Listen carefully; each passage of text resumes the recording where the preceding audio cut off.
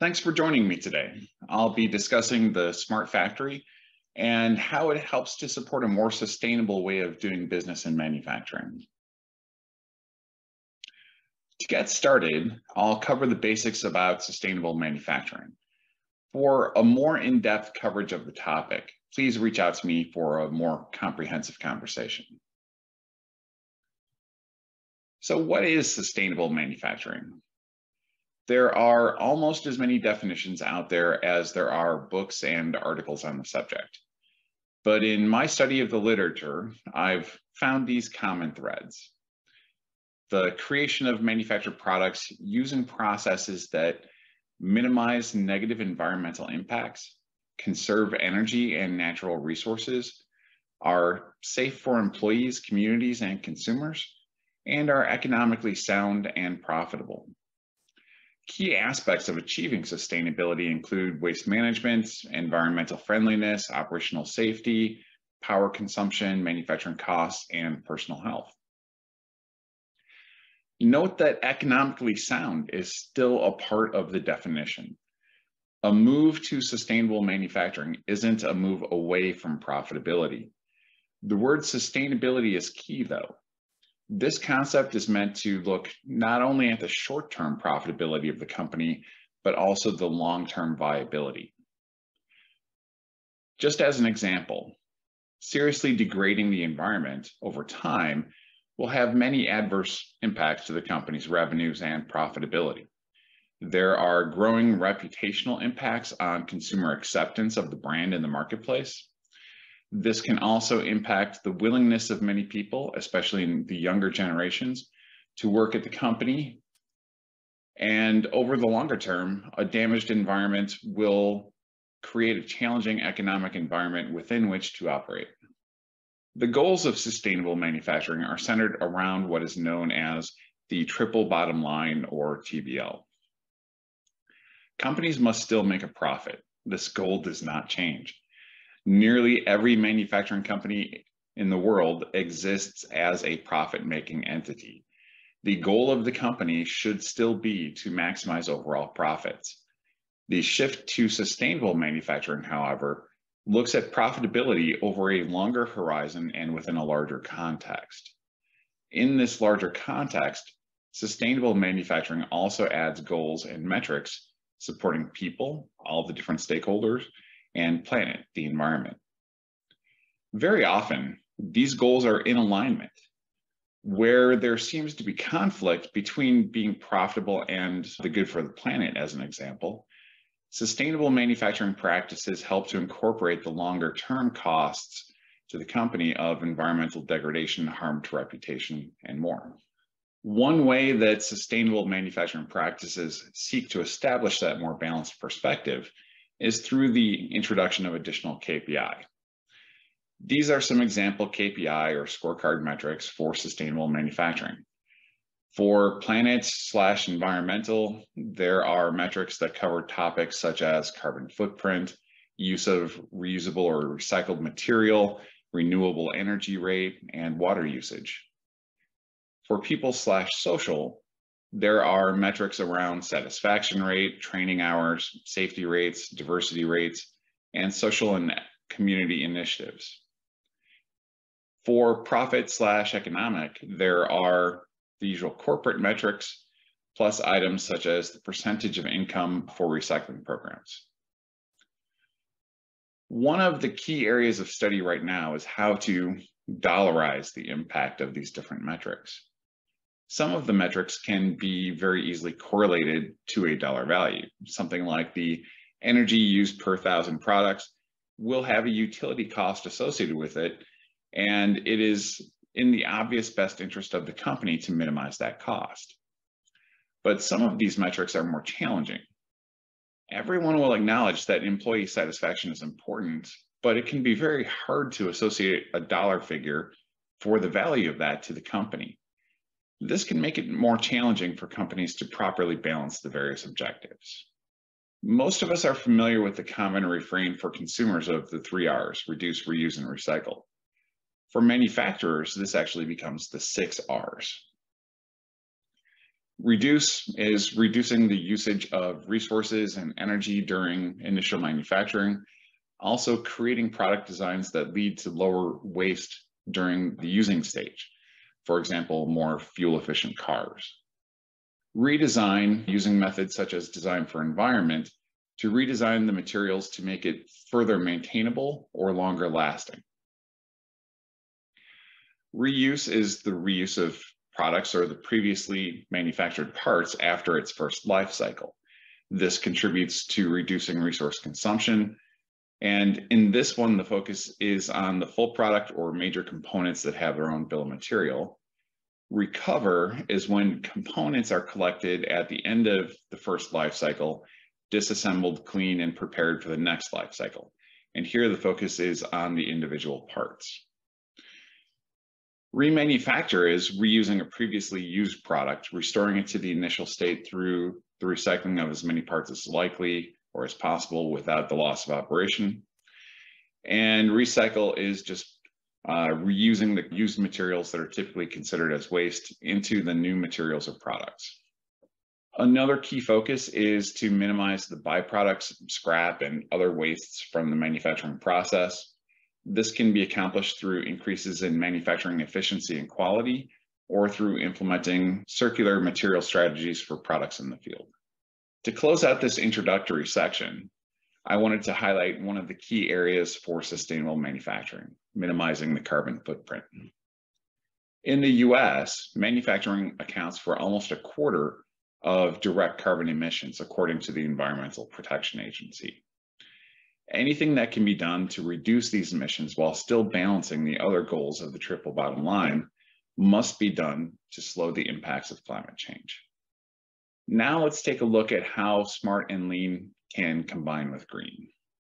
There are many different areas where smart and lean manufacturing can impact the goals of the triple bottom line.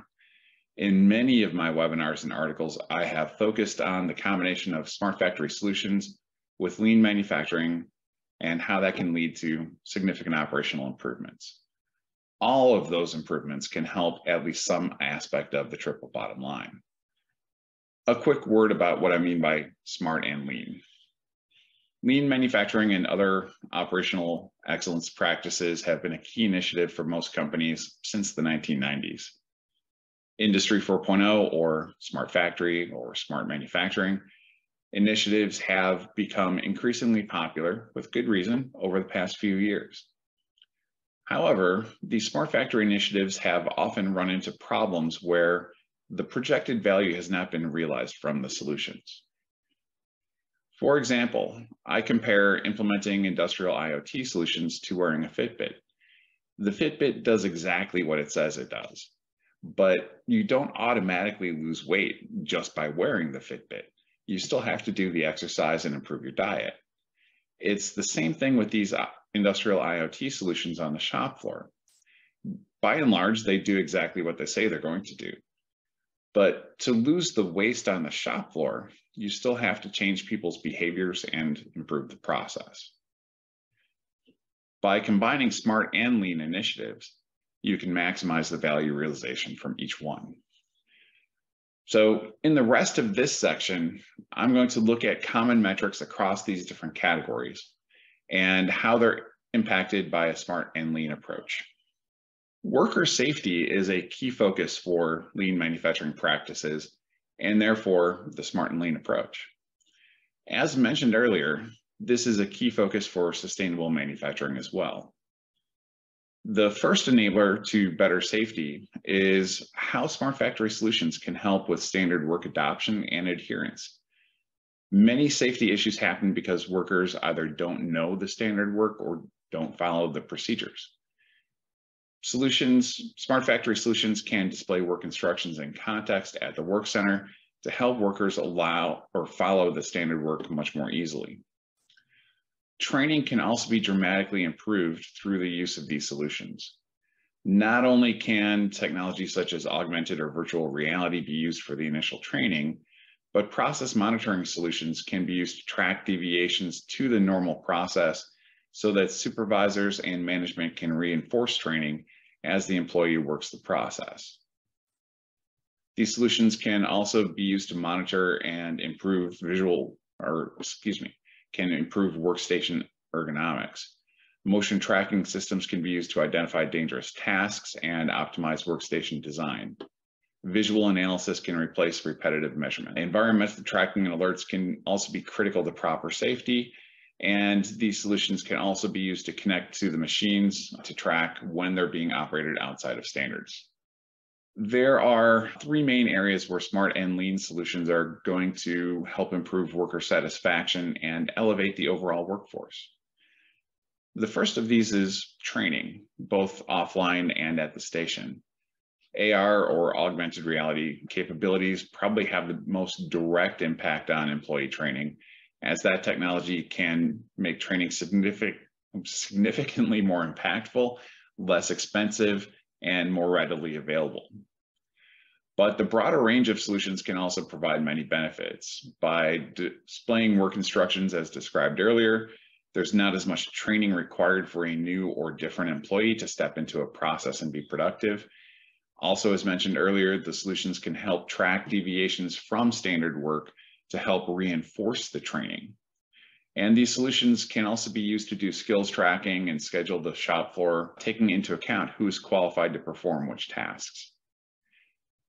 The second primary area is in employee safety, and we covered that in the previous section. And the third is in employee satisfaction. Particularly when recruiting and retaining a younger generation of workers, they want to be involved in something that is more interesting and rewarding. An operator role in the Frederick Winslow Taylor tradition will not keep employees happy or keep them at the company. Companies can increase their recruiting and retention rates by employing interesting new technologies, putting humans at the center of workplace design, engaging employees' brains as problem solvers, and generally making manufacturing more fun again. Quality is one of the biggest target areas for improvements to sustainability. Improvements to quality have many direct and indirect impacts on profits, but also on the environmental impacts of the operation. There are many enabling capabilities to improving quality within the Smart and Lean toolkit. The first among these is the ability to process and identify deviations. This includes tracking output measurements and plotting SPC charts, but it also includes tracking the detailed process variables and applying the same principles. By sensing and responding immediately to excess variation, it's possible to get the process back under control before the output is impacted. When failures do occur, having the detailed information collected by these systems allows for a greatly enhanced root cause analysis process Smart factory solutions allow for faster and more complete analysis along with a far broader solution space. Predictive quality capabilities enable customers to utilize machine learning capabilities to go beyond condition monitoring and predict when a process is likely to start producing bad parts. This includes analysis for units that end up in warranty. For a complete set of data being captured and archived when later show up later in warranty claims, it's possible to correlate production variables to the units that end up in warranty versus those that do not. These solutions can also be used to enhance error proofing on the shop floor. One example of this is using AR for verifying that pick and place components are being selected from the correct bins. Another use is for shop floor systems to ensure machine settings are correct for the particular item being produced. They can also be used to monitor for deviations from standard work to enforce, help reinforce the training on the shop floor. Quality can also be significantly improved by providing in context, hands-free visual instructions. When operators can easily see these instructions in the context of their work, it not only reduces the error rates, but also facilitates a greater variety of builds with less training required. And finally, for companies where the product is sensitive to environmental conditions, process adjustments can be made automatically. The metrics in this category of delivery relate to production efficiency, production totals, and related measures. While these relate most directly to the economic impact, any improvement in efficiency also represents an improvement to the amount of energy consumed, pollution produced, and other areas of environmental impact. Smart factory solutions help address these issues in many different ways. First, much like quality, these systems can provide detailed tracking of downtime and production information. This can be used for issue identification, root cause analysis, and improved problem solving on the shop floor. In addition, maintenance procedures can be completely revised to take great advantage of this information. Reactive maintenance time can be dramatically improved by increasing the mean time between failure, the first time fix rate, while decreasing that mean time to repair.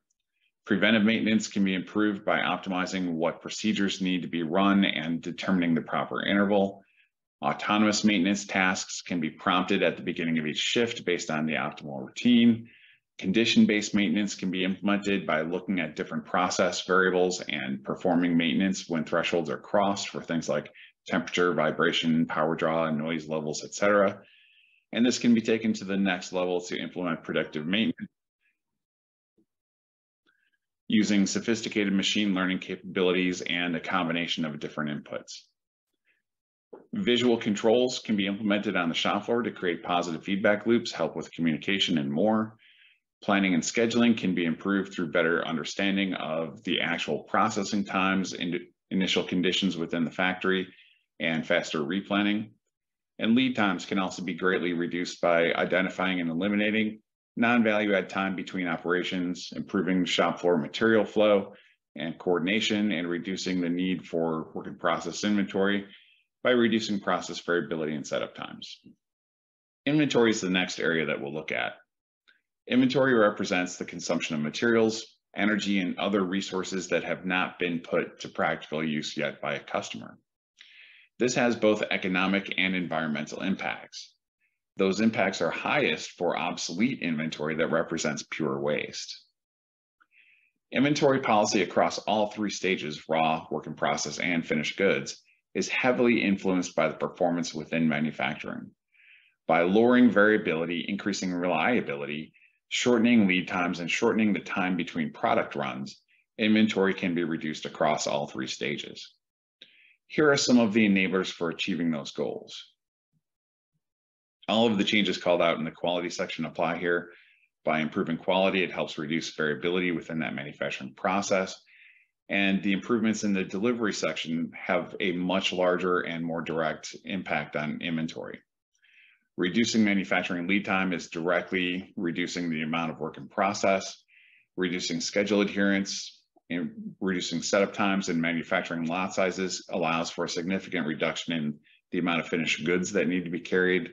Raw material inventory can be reduced by improving communication with the vendors, having more reliability in the production schedule, and improving manufacturing agility to be able to switch to other products when one raw material stocks out. The combination of all of these factors can lead to great reductions in the total inventory in the company. All of the improvements in efficiency and quality discussed earlier will help with the environmental scorecard here. These will help reduce the utilities being consumed, reduce the quantity of waste being produced, and much more. In addition to the areas previously discussed, asset level mon or asset level metering provides manufacturers an opportunity to identify where they're consuming the most power so they can manage those processes more closely. For example, in a visit to Toyota's Lexington plant, I saw that they had created a process to ensure that machines get turned off whenever they're not scheduled to operate. This is just a very simple example, but using these smart monitoring systems to eliminate non-value added consumption can help reduce your overall utility bill quite a bit. And our final category is cost. I left this for last, not because it's least important. I assure you it's not, but because it is essentially the result of all of the other improvements. Smart factory enablers here are the same ones we've discussed throughout the other sections. Rather than being repetitive, I'll use this opportunity for some final thoughts. Many smart factory implementations are performed with a single goal in mind, such as implementing predictive maintenance to increase OEE. That's certainly a worthwhile project and goal, but as we've seen today, fairly myopic focus on single metrics. misses many different opportunities for improvements on the shop floor, the supply chain, and the overall impact of the company. It's possible for it's possible to utilize these projects to impact each of the triple bottom line goals, profits, planet, and people. Whether you are considering getting started on a digital transformation in manufacturing or already have one underway, it's fine to start small, focus, and drive success.